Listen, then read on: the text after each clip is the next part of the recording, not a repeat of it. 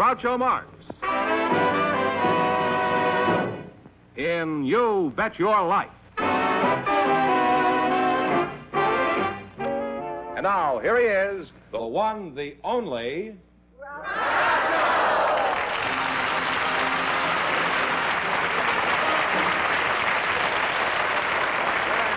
Thousand dollars for one of our couples, and if any of them say the secret word, the duck will fly down and pay him a hundred dollars.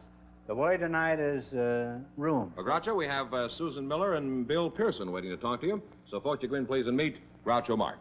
Say the secret word, and you each win an extra hundred dollars. And you win an extra hundred dollars. It's a common word, something you find around the house. Susan Miller and Bill Pearson. Huh? Susan, uh, you're taller than he is, so I'll start with you. Let's find out your story. Are you married? Yes. Well, that's the end of the story. now, what else is cooking? Would you describe your husband? Just a few well-chosen insults will do. Well, he's a nice guy, and I like him. You like him? Yeah. Oh, well, I detect a, a slight uh, Scottish burr there. Are you from Scotland? Yes, I am. How did you meet your bonny laddie? Oh, we went on a picnic one Sunday, and then at night he took me to the show. Took you to what show? The movie show. Aye. But he was a typical Scotsman. He didn't believe in wasting time, did he? eh? No. How old are you, Susie? 24. 24. Uh, Well, you're what a fine, said to me a you're, little you're while a ago. fine-looking lassie, Susie. Thank you. And in this case, I hope Lassie never goes home, huh? now, you're uh, Bill Pearson.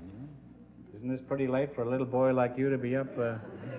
how, how old are you, laddie? Uh, 35. 35, just as I thought. You ought to be in bed. how big are you? Uh, five foot two, 106 pounds. 106. I had more than you for breakfast this morning. But of course, if I don't watch myself pretty close, why, I'll bounce up to around, oh, 114, 16. Why do you have to watch your weight? Well, I'm a jockey. And, uh, Oh, jockey, yeah, well, you're lucky. You just have to watch your diet. A lot of people who bet on you aren't eating at all. you're so right. you're so right. You know, I know who you were, Billy. Uh, you're a very famous jockey. I didn't recognize when, when you came in, but I've, I've certainly heard of you. I'm not much of a racetrack fan, but where are you from, Billy? Little Rock? No, uh, Chicago, Illinois, but I've been living out here. Oh, Chicago players. But Somebody out there from New Zealand. Yeah, you're so right. You're from Chicago? Yeah, well, I've been out here most all my life. Uh-huh. Southern California. You prefer uh, Chicago? No, no, no, I don't prefer it. I prefer Southern California. Did you go to high school in L.A.?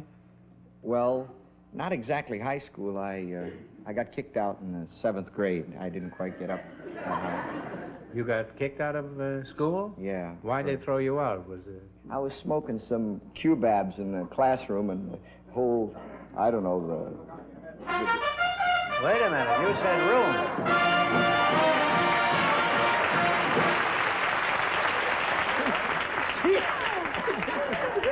you said room, and uh, Broken Dora uh, gives you fifty dollars, and your partner here fifty dollars. Huh? Say, this money looks like money I seen when I was. No, this isn't real money. You see, we're not allowed to photograph real money. Oh. But after the show, we will replace that with a bona fide the uh, fifty dollar bill.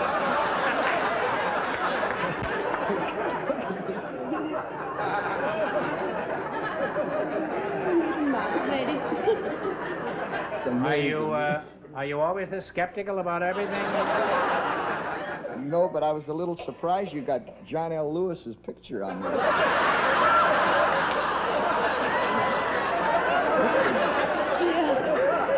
Well, I tell you, we have John L. Lewis's picture on there because you were so small. I thought you was a minor.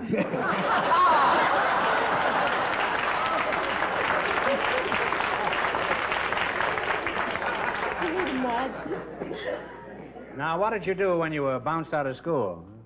Well, then I uh, went out for amateur uh, boxing, and uh, You were a boxer? You mean a dog? no, I had a very promising uh, career. I Is that so? yeah. As a matter of fact, I remember you in the ring. I was there the night you fought Primo Carnera. How did you make out in the ring? Oh, great, great. I, I was one of the few fighters that uh, ever quit uh, with a perfect record.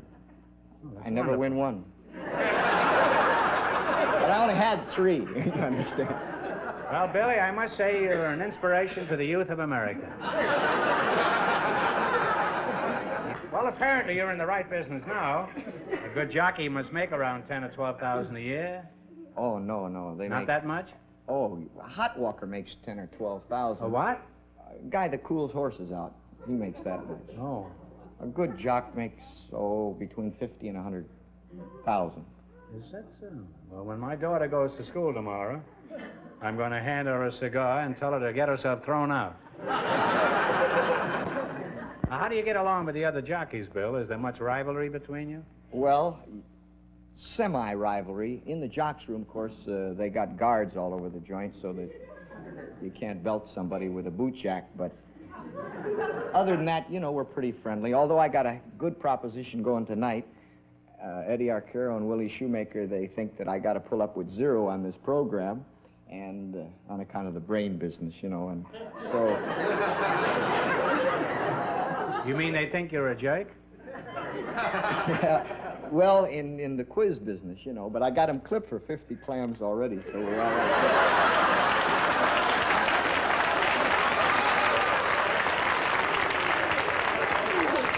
Billy, Billy, I must point out something to you. This didn't require any intellectual effort. This was sheer luck, this thing. I, I, listen, the way I've been going at the Flamingo in Las Vegas, I need anything. This is the greatest. But the, the deal is that with Arcaro and them guys, Are you a sucker enough to go up against that Las Vegas thing? I'm here through courtesy of the Chamber of Commerce of Las Vegas. My body is owned by that town. Well, if your body is, uh, is owned by them, they haven't got much, I must say.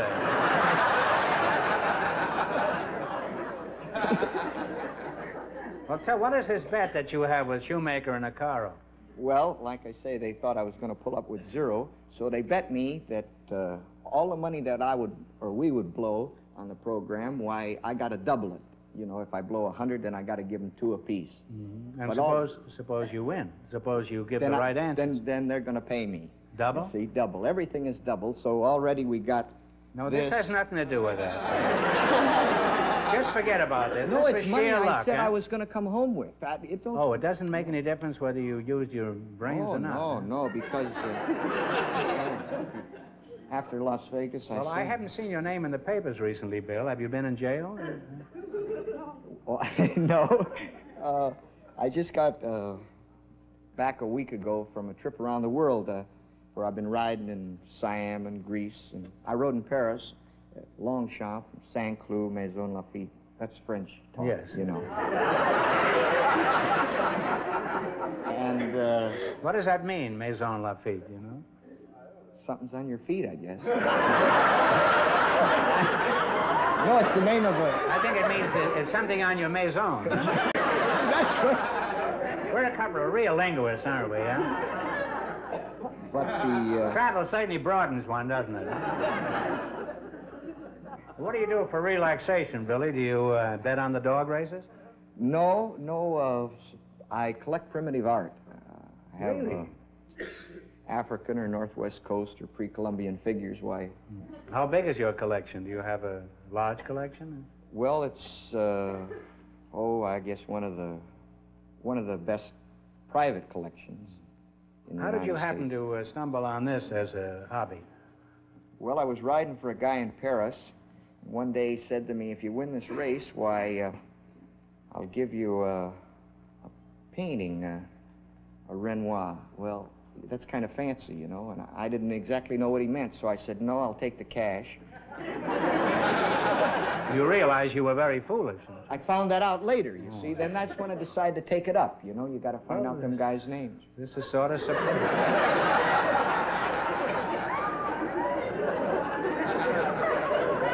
what did you think Renoir was? A Hungarian restaurant?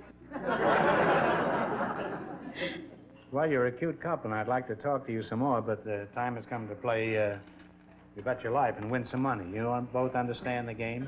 Yep. Now, you selected explorers and adventurers. Now, what do you want to start with? Well, uh, a hundred. All right. All right. You don't was the take, name? You don't take the fifty back, though, do you? No, and we also don't take your check if you lose it. All right, what was the name of the American Army officer and explorer who mapped the Oregon Trail and crossed the Rocky Mountains to California? He was known as the Pathfinder. This is a hundred dollar question.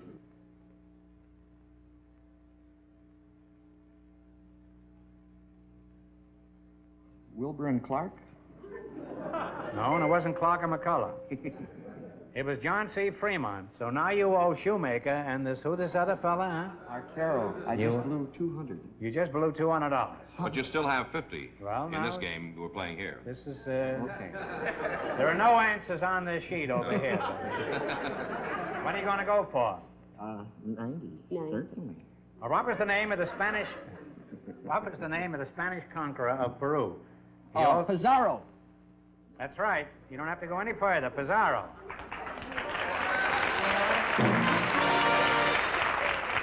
Now Wait, have, wait um, just a moment. How did you happen to know that?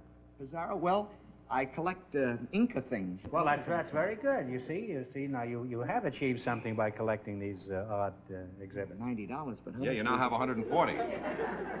All right. Go. How What are you going to go for? Eighty. 80? Eighty. Yeah, we'll go. 80? What was the name of the Norwegian explorer who was the first to reach the South Pole in 1911? Um, the Norwegian. Okay. No, no, not Swenson. Uh, the guy that uh, reached the North. Oh, Toledo. I know that. My wife will kill me.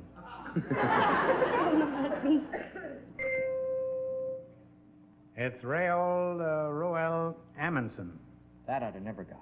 No. You see, you didn't collect those Norwegian exhibits, huh? Now, here's your last chance to beat the other couple. You have $70 now, Bill. What do you want to go for? $70. Sure, money. Go ahead. Seventy-eight. How much have I lost, though, on the other proposition? I don't know how the parimutuel's going to work out on this. Uh, My guess is you'll be a shoemaker by tomorrow morning. Seventy dollars? Yeah. What was the name of the navigator who, in the Golden Hind, was the first Englishman to circumnavigate the globe? Couldn't have been Magellan. Oh, um, uh, Drake. Uh, Drake, Drake, Yeah, don't go Drake, any Drake, further. and you wind up with $140. Maybe win. Two and four.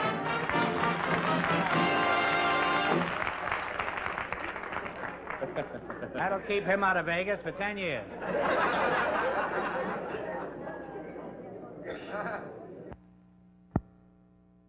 Uh, Groucho, we have a housewife uh, waiting to talk to you. She's Mrs. Uh, Rosalind Gelfgren, and her partner is a very special guest, a man known to millions as the conductor of the Court of Human Relations, Mr. John J. Anthony. Say the secret word and divide a hundred dollars. It's a common word, something you find around the house.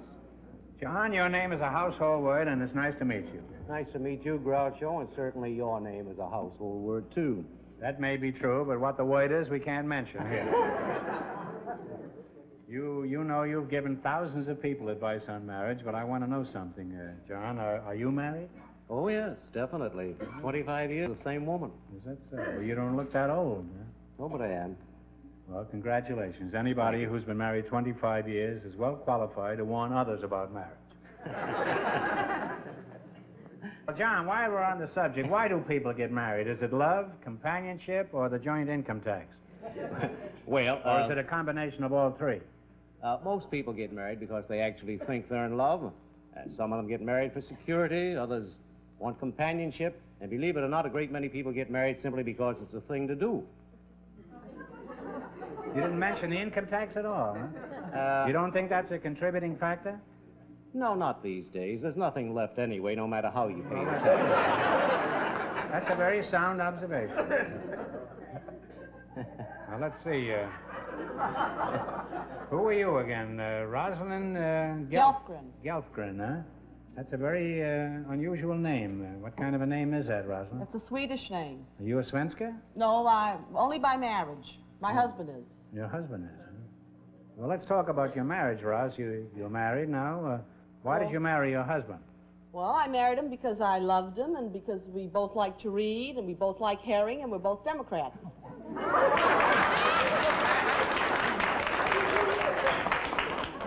You know, you can like herring and not be a Democrat. Republicans don't like herring. You were both Democrats, huh? Too bad he wasn't a Republican. Then after you were married, you could have had a third party. now, how is the marriage working out, Roz? Well, uh, we've been married five years now. So far, so good. You haven't slugged each other yet? No, not yet. Are you happy? Uh, quite, quite. Well, that's a guarded statement, huh? well, how do you know you're happy? You haven't checked with Mr. Anthony, have you? Well, I'll check with them then. Am I happy, Mr. Anthony? Mr. Anthony, here we have the case of Mr. and Mrs. Gelfriend. Oh, no, no, no names, please. Now, why should they have gotten married just because they were both Democrats? Well, as long as she was in love with her husband, she could have married him, even if he was a Republican. I doubt that.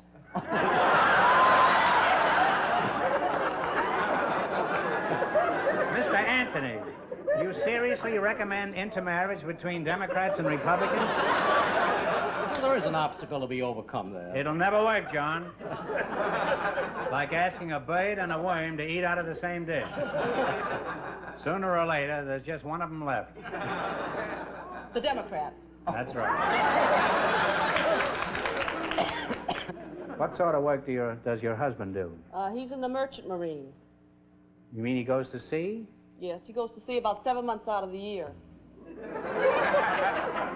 Well, that's the best explanation of married happiness I've heard in a long time. Now, Mr. Anthony, what is your opinion? Is this a good arrangement for a man and a wife to be separated seven months of the year? Frankly, I don't think so. Uh, I beg to differ with you. I think it's an excellent arrangement.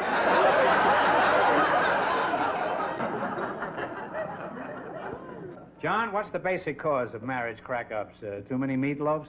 no, incompatibility. Incompatibility? Actually, that's so. Well, that's true. A couple I know broke up just last week for that very reason. They said certainly were incompatible. He had no income, and she wasn't patable. I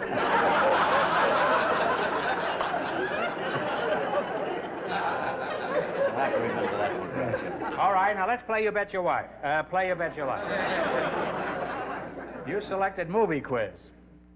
In the race for the $1,000, the first couple won $140, and the secret word is room. It's a movie quiz. What do you want to start with? 10, 20, all the way to 100. Let's live dangerously, a hundred. Yeah, it's all right with me. All right, what was the picture starting, starring Montgomery Clift and Elizabeth Taylor that told the story of an ambitious young man who kills his former sweetheart in order to marry a wealthy girl? A place in the... s- Oh, That's, that's It's all right. all right, but All uh, from now on, you discuss it before you answer. A place in the sun is right. On your way with $200. Talk to him, George. Well, you have $200 at this point.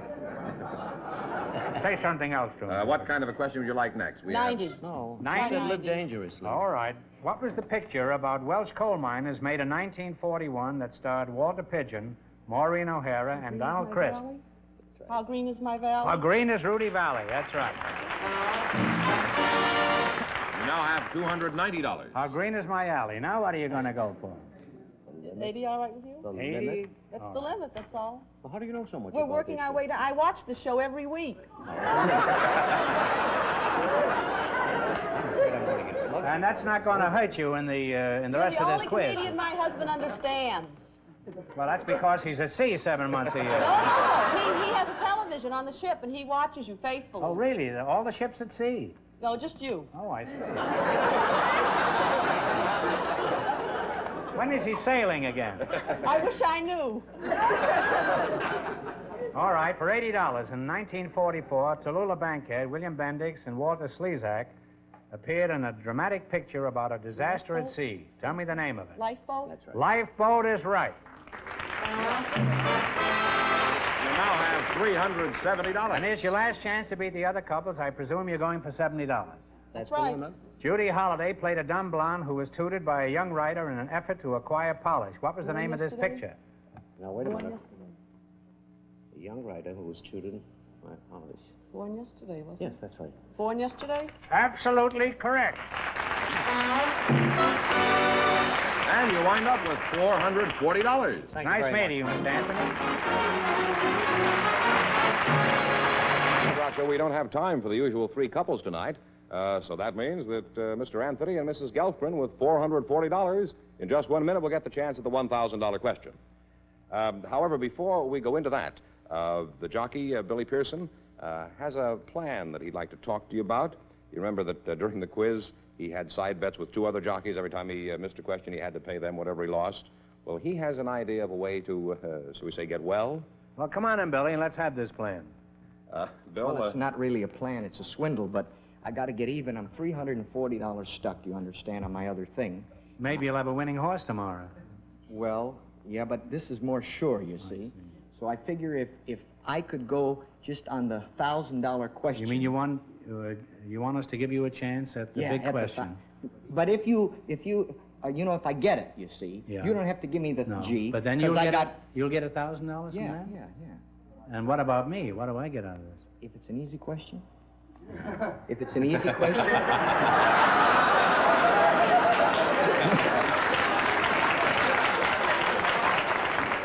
Now remember, the other couple, the winning couple, still get the real chance at the money. Oh, but this, sure, sure. This is just for you to pauperize these two jockeys sitting in that jack room. Is that what you call it? No, the jocks room. Jock's room. Yeah. you've taken the other people out, though, already.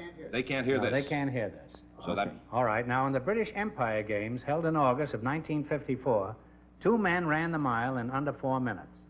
One of them was Roger Bannister of England. For a $1,000, what was the other one? He officially holds the world's record for the mile.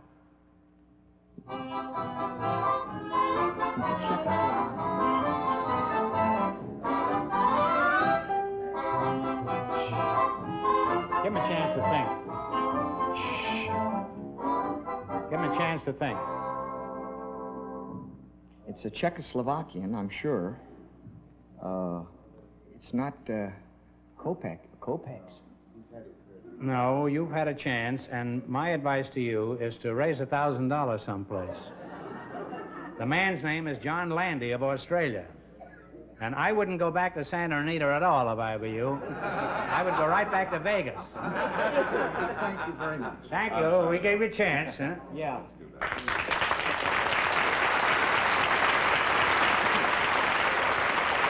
Now, here's John J. Anthony and his partner, Mrs. Gelfgren. They've been off stage, and they couldn't hear Billy Pearson's answer to the $1,000 question, so now they get a chance at it. You come on in, folks, please. Come right out. Thank you.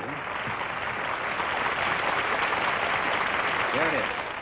In the British Empire Games held in August of 54, two men ran the mile in under four minutes. One of them was Roger Bannister of England. For $1,000, who was the other one? He officially holds the world's record for the mile. Who is this man? Talk it over.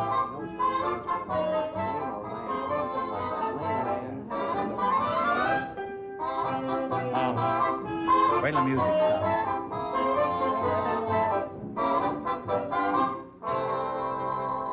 What is the answer you two have decided upon?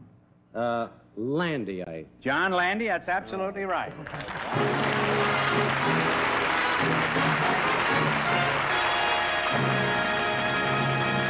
win a thousand dollars, and uh, how much in the quiz, George? Now they went all the way, $440 in well, the that's quiz. fourteen. Now, what are you going to do with all that money, Mr. Anthony? Well, tax day's coming along soon. We were talking about Oh. that. This isn't going to hurt, you know. No. Well, it'll uh, it'll help the tax department, though, won't it? Yeah, it'll and help what are you going to do with yours? Spend it. Spend it. That's right. There's no use fooling around with the revenue department. And I'll see you in Alcatraz. Good night, and.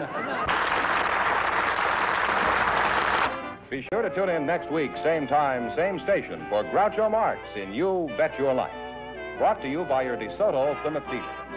And don't forget to listen to You Bet Your Life every Wednesday night on radio.